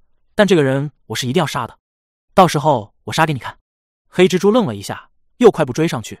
他想去挽住庆晨的臂弯，却放弃了，因为他知道自己的界限在哪里。老板。真的可以杀风暴公爵吗？他像个小女孩一样问道。不试试怎么知道呢？庆晨说道。可是怎么杀啊？我有很多徒弟，等他们成长起来就可以杀了。他们什么时候才能成长起来？要再给他们一点时间。林计算到很多变数，但庆晨认为他并没有将骑士预备役计算进去。请勿停止停。东大陆联邦五号城市，李克怔怔地坐在火锅前，铜锅里红油翻滚。一旁的张梦千虽然用绸带蒙着双眼。却能精准的夹到锅里的每一片毛肚。李云静坐在一旁慢点吃。李克这两天已经入正了，没人跟你抢。小梦千说道：“我倒是希望他能像品往常一样跟我抢一下。他暂时怕是没那个心情了。”午餐肉、鹌鹑蛋、鸭掌、油豆皮、青笋条、腊牛肉摆了满满一桌子，但李克根本没有动筷子的打算。隔壁桌还有人说羊，谁能想到李氏竟然会通敌啊？他们先前把家长会增在路上。现在又派了浮空飞艇在大山里搜索家长会，这不是卖国贼吗？前天还有新闻说李氏家主李云寿坐上他的专用浮空飞艇去了北方，好像是去拜见西大陆的大人物，急差去抱大腿呢。李氏作为财团，平时压榨大家就算了，在这种为难关头，竟然如此没骨气。李氏的家训原来都是摆设吗？李氏老爷子李修睿走得早啊，要是那位老爷子还在，怎么可能看着李云寿把家业卖给外族人？李克听到这些话，眼皮子动了动，却没有勇气去反驳什么。他只是小声的说道：“我父亲不是那种人。”张梦千给他加了一片毛肚，没吃饭，所以没力气了，是吗？说话声音这么小。李克抬头，直勾勾的盯叉张梦千：“你相信我吗？我父亲不是那种人。他可能和师傅的立场不同，但他绝对不会做出如此卖国求荣的事情，绝对不会。”张梦千沉默了，李云静也沉默了。李克低声说道：“连庆姨都不信我了。以前每天都会打好几个电话的庆一，也有三天没打电话来了。最后一通卫星电话里，庆一也只是冷冷的让他关注一下新闻。那一刻，李克就意识到出问题了。他们赶忙结束了集训。”连生死关都暂时放弃，回到了城市里。然后，李克看着李氏那铺天盖地的新闻，变成了一个行尸走肉，每天机械的睡觉、起床，像是魂都丢了一样。他不相信父亲会做出这样的选择，他觉得父亲一定有自己的苦衷。他一遍一遍的说着，可渐渐的，自己也没那么坚定了。因为李氏的浮空飞艇此时就在大山里，不停的搜索着家长会成员，甚至真的找到了一支三百人的队伍。并用导弹将这支队伍全歼在大山里，而且师傅在经历了李氏的背叛之后会怎么看他？庆姨在经历战友死于李氏之手后会怎么看他？那些师弟师妹们会怎么看待他这个大师兄？李云静一句都没有劝解他，只是安安静静的当着护道者吃着腊牛肉。李克叹息道：“其实你们也觉得我父亲叛变了，对吗？”张梦千转头看向李克：“这件事情很重要吗？抑制器材料和供气材料好一般。”张梦千认真说道：“你父亲做出什么样的决定，跟你关系很大吗？”你只需要知道你在做什么就好了。第九百五十八章克敌先机。at at 张梦千拿着长长的筷子，在红油火锅里精准的夹起一块火焰山牛肉，他塞进嘴里咀嚼后说道：“我们就以现在的状况来看，李氏杀了家长会的人，围攻了十号城市，和你李长青姑姑决裂，还在山里搜索家长会成员。不管从哪里看，叛变就是叛变了。他可能是为了保护李氏，也可能是为了其他的什么事情，但这现在就是事实。”李克双手放在膝盖上，呆呆的坐在长条凳上。一时间嘴巴张了张，却不知道要说什么。张梦千继续说道：“我知道你现在接受不了，等会儿我带你出去走走，看看你现在到底该做什么。”李克眼皮子抬了抬，什么时候？得等我和云静书吃完火锅啊！张梦千说着，又夹了一块子贡菜，清脆的贡菜在牙齿之间被嚼得嘎吱嘎吱响。李云静在旁边放了两块豆腐进锅里，就跟什么也没听见似的。他这个护道者从来不参与两小只的对话，就像是一个没有感情的机器人。吃过午饭，失明的张梦千走在最前面。明明眼睛都缠上了绸带，行走之间却是无阻碍，仿佛他身体的某个地方还藏着另一只眼睛。李克则失魂落魄的跟在后面。张梦千径直走到五号城市第九区，这里干净整洁，居民屋中窗明几净，大楼上不知何时也出现了绚烂招牌。几个小孩子街道上踢足球，一个胖小子奋起一脚将足球踢偏。然而就在他刚刚抬脚，还未落在足球上的时候，张梦千便已经提前伸出手去。并对李克说道：“你去过十八号城市的第九区，对吧？”砰的一声，足球恰好落在了张梦千的手掌上，不偏不倚的停住。从他们进入第九区时，就已经有家长会成员在关注他们了。于是家长会成员就看到这惊奇的一幕：张梦千庞佛未卜先知似的伸手，球都还没有被踢出去，对方就已经知道球会飞到哪里。克敌先机，这就是天生的第六感，甚至要比戏命师的克敌先机更快一线。家长会成员在监控中心紧急调度：“快快快，来高手了！”多来点人监视着，小心他们在下三区搞出什么事情。先来三十号人，不来五十号，准备打群架了。然而监控中心的负责人看了一眼屏幕，一巴掌拍在这名家人的后脑勺上：“你是不是傻了？这是老板的徒弟啊，张梦千，忘了吗？卧槽，原来是小梦千。当初在十号城市抗击蜀朝的时候，我见过他呢。他就在楼上敲盆，告诉我们哪边防线崩溃了。如今经历过十号城市灾难的家人们，已经向外界开枝散叶了。”他们成为一支支队伍的教员，带着新人猛打猛冲，都是死过一次的人了，没什么好怕的。而张梦千是他们非常熟悉的人物，只不过此时的张梦千脸上缠着绸带，与先前机械眼的模样完全不同，以至于他们一开始没认出来。家人赞叹：“小梦千都已经成为高手了呀！”张梦千和李克算高手吗？目前他们已经达到 B 级，确实算高手了，但还不够高。此时此刻，李克回答张梦千：“我去过十八号城市的下三区。”我去的时候和这里不太一样，张梦千问道：“那里的下三区是什么样子？”我来帮你回忆一下，因为我就是从下三区出来的。真正的下三区不会像眼前这样，没有小孩子在街道上踢球，因为街道堆满了垃圾，臭不可闻，到处都是不平整的地面，路上还有积水，踢球根本毫无快乐可言。不仅如此，小孩子走在街上就必须有大人跟着，不然你的孩子很有可能会变成别人的器官，有大人跟着都有可能被抢走。我在下三区的时候，父母想要卖孩子，我为了活命，自己从家里逃出来，每天躲在黑暗的大厦里，在夹缝中生存，睡觉的时候都担心会被人直接绑走。那段时光里，我战战兢兢的生活了四年，直到有一天，师傅出现了。李克转头看向他，我知道你的经历，但这跟我的事情，我父亲的事情有什么关系？张梦谦笑了，你觉得肮脏恶臭的下三区是怎么改变成如今这个样子的呢？当然是因为师傅了。李克平静的说道：“从二十二号城市开始，家长会不停的扩张版图，直到拿下所有城市的下三区联邦过半的人口，并且家长会的物业公司还成了组织里最大的现金流。”张梦谦点头，所以你全都知道。你知道师傅在做什么，在为什么事情而努力。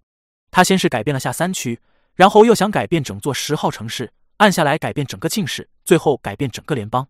如今家长会的成员们在大山里生死迁逃，师傅还在战斗，而你却在为自己的父亲烦恼，自怨自艾。所以我说，你们这些财团子弟都是温室里的花朵，根本经不起风吹雨打。李克猛然看向张梦千，你说什么？我说你是温室里的花朵，经不起风吹雨打，有错吗？张梦千反问。说着，他向后微微退开一步。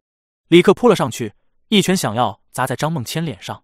可张梦谦刚退的那一步实在太巧妙了，正好卡在李克的攻击半径之外分享。李克这一拳根本没能打到他，却见张梦谦在李克一拳落空后突然上前，一拳锤在了李克的胃上。李克呕的一声跪在地上，吐出一口胃液来。同等级高手在克敌先机的能力面前很难有胜算，这也是那些戏命师在战斗中总能获胜的原因。监控室里有家人喊道：“卧槽，打起来了，打起来了！老板的两个徒弟怎么打起来了？”然而就在此时，张梦谦忽然转头看向监控，用食指隔空一指，示意摄像头转开。监控室里的家人们顿时一惊：老板的徒弟怎么搞得好像什么都能看见似的？他们赶忙拿开摄像头，不再吃瓜凑热闹。此时，李云静还是当没看见。他去路边买了一根冰糕，靠在便利店的门边，一口一口的咬着，就像是一个路人。张梦谦走在李哥身边，继续平静的说道：“你是骑士组织这一代的大师兄，连你都这么弱不禁风，那谁还能帮师傅呢？”师傅现在辛辛苦，就是在给我们争取挑战生死关的时间。等他那天撑不住了，就会回来，带着我们一起去战斗。到时候本应该是半神的你，结果才 B 级，师傅得多失望。你现在那些自怨自艾的东西，能与全联邦所受的苦难相比吗？我知道你的难过，也理解你的难过，但这个世界没有留给我们那么多自怨自艾的时间。我觉得李克跪在地上，慢停止了呕吐。我打不过你，要不还是你当大师兄吧。张梦谦笑道：“那二师兄胡小牛可能会有些迷茫。”既然你不愿意当大师兄了，那为什么大师兄不是他？李克爹坐在地上沉默着。张梦谦说道：“起来吧，师傅需要你，可能有一天连你父亲也会需要你。”李克头看着他，但你说的没错，我父亲的事情是我父亲的事情，而我不能停在这里了。这时，他兜里的卫星电话响起，李克皱起眉头接听，电话里面传来庆意冰冷的声音：“你在哪？”李克愣了一下：“我在五号城市的第九区，来航空港，我到了。”庆意冷声说道：“李克感觉有点奇怪，他拦了一辆出租车往航空港赶去。李云静坐在副驾驶，张梦谦和李克坐在后排。张梦谦好奇道：‘他是专程来骂你的吗？你父亲杀了家长会那么多人，而且派了一支作战旅去围攻庆意所在的十号城市，他对你父亲有怨气也正常。我相信你们的友谊早晚会回来的。’李克看着窗外没有说话。车辆驶入航空港，却见一艘喷涂着十号城市字样的甲级浮空飞艇。”停靠在最显眼的位置，周围还有十多艘民用的丙级运输飞艇。庆氏成员正忙碌的往上面搬运物资。来到这里，才能深切的感受到战争正在来临，所有人都在争分夺秒。见他们到来，甲级浮空飞艇打开舱门，庆义从舷梯上走下来，来到李克面前，一拳捶在了李克的肚子上。李克没有躲闪，如同一只虾米似的蜷曲身子。庆义也是准提法 B 级了，这一拳并不轻。庆义站在李克面前，阴沉着脸色还手啊，不敢还手吗？李克缓缓直起腰来，你被围攻了，心里有气是正常的。青衣冷笑道：“你以为我是因为你父亲参与围剿，家长会生气吗？我是因为你这么颓废才生气。”李克愣了一下，下一刻，远处传来呼喊：“装运完华！”庆义转身往浮空飞艇那边走去。我没时间跟你说那么多废话了。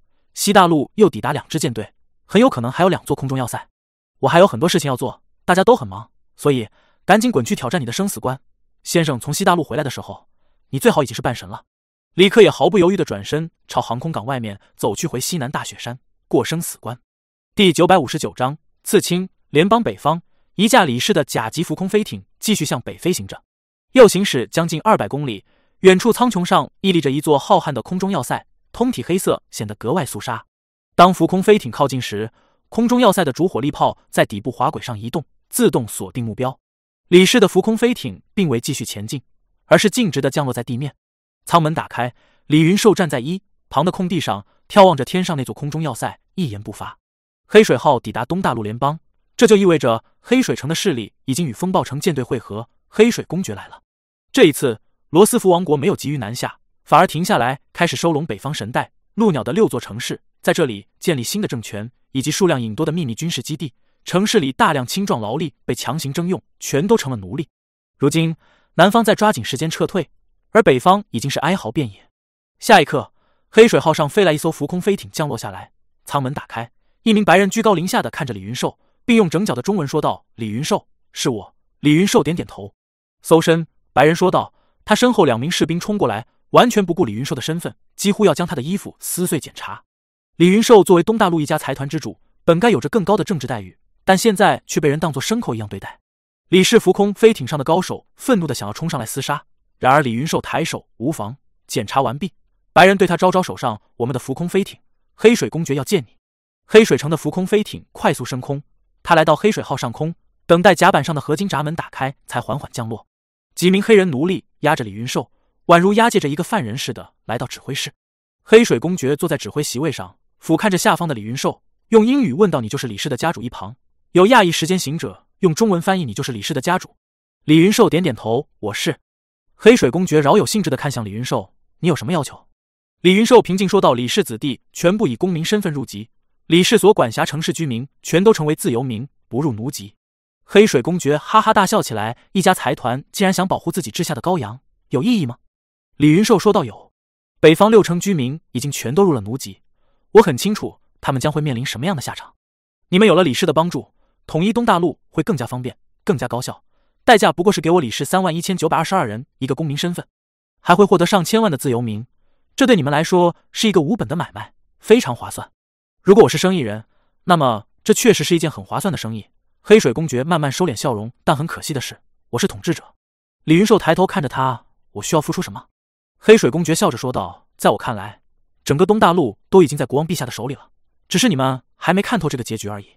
当然，你的要求也并不是难事。你李氏的人可以不入奴籍，但你要成为我的奴隶。”话音刚落，两侧有人冲来，拉扯着李云寿的双臂，将他固定在一张椅子上。还有一个白种女人拿着自动化纹身工具，短短十多秒便在李云寿的额头上纹了两个汉字“奴隶”。李云寿没有挣扎，他只是眼神灰暗的怔怔坐在椅子上。黑水公爵以及指挥十里数百名士兵都拉笑叉看向他：“别担心，你是特殊的。接下来，我罗斯福王国所碾压过的土地上，除开你李氏的子民，届时都会纹上这两个字。他们会成为罗斯福王国的奴隶，他们的子女也会成为王国的奴隶，纹上这样的字迹。到时候，你李氏的后人。”都会感谢你的牺牲，这就是战争的真正残酷之处。它不仅要摧毁你的身体，还要凌辱你的意志。在想象中，战争就是你来我往的把对方消灭就好了。但战败方受到的屈辱将伴随上百年、数百年。女人会成为生育工具，男人会成为牲口一样的劳力。这就是联邦如果战败将要承受的代价。现在，黑水公爵就是要让全世界人都知道，李云寿已经成为了他的奴隶，以此来击垮李氏最后的意志。当李云寿在出席任何公开场合，所有人都会看到他额头上的两个字。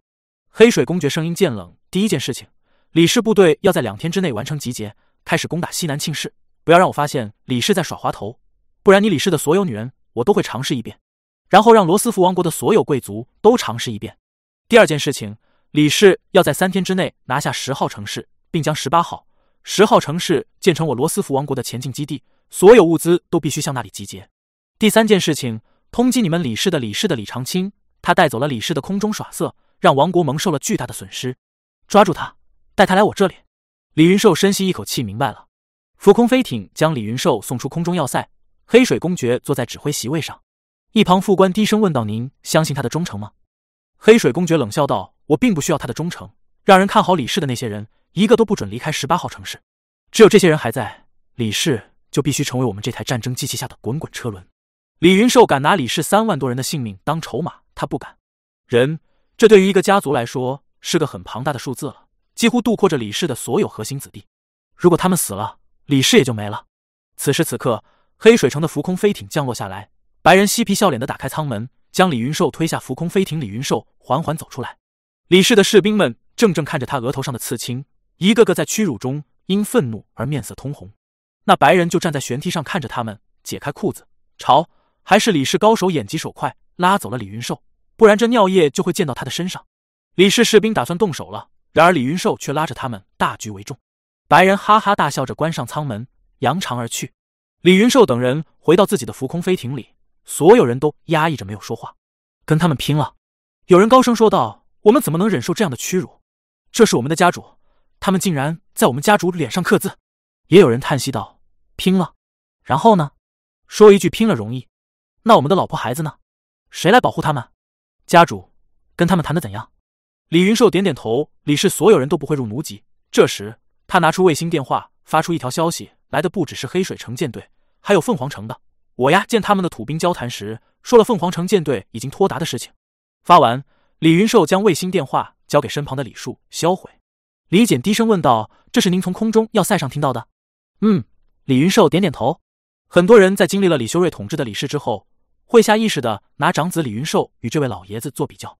李云寿继位后所做的事情大多都是守城，并无开拓，所以网络上会有人评价李云寿在历代李氏家主里相对中庸，并无经验之才。可事实上，很少有人知道李云寿的过往。他以当年第一的成绩考进清河大学，在大学期间很低调的，没有担任任何学生会职务，甚至很少抛头露面。但毕业时却拿了三学位：哲学、政治经济学、法学。继任李氏家主之后。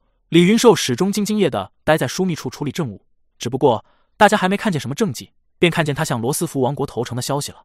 李树低着头问道：“家主，你也不想投诚的吧？这件事情已经不重要了。”李云寿拍了拍他的肩膀，向前看。浮空飞艇升空，历经两天时间飞回十八号城市。当他在爆普楼前降落时，竟有数百名李氏成员聚集在停机坪上等待。李云寿走出来的时候，有女人走上来朝他吐了一口唾沫，呸！卖国贼！我们宁愿给人当奴隶，宁愿死，也不接受你所谓的庇护。又有人走上前来唾弃他，你也配当家主？你跟老爷子差远了。数百人轮流上前唾弃李树等人，想要保护李云寿，却被李云寿制止了。没关系，让他们唾骂吧。数百人骂了将近一个小时，骂累了才离开。李云寿衣服都湿透了，身上满是唾液的腥臭味。他缓缓走进爆普楼，脱掉衣服洗了个澡。当他洗澡出来时，路过镜子便停下来，静地看着镜子里的自己。还有额头上的刺青。李云寿换好衣服走出房间，对门外的李树说道：“召集枢密处的国策顾问、军事顾问，准备制定攻打西南的战略计划。”李简问道：“您不需要休息一下吗？”第九百六十章，我很满意我的结局。李云寿回来后，枢密处里正在召开会议，非常安静。而半山庄园里沸沸扬扬，那些李氏成员看见李云寿额头上的刺青，全都炸。不光是李氏成员在讨论这件事情，连那些仆役都干脆罢工，不干活了。全在说家主怎么能卖国求荣？李树带着一份当，匆匆穿过半山庄园。当他听到仆役们在讨论这件事情的时候，本想反驳，却最终忍住了。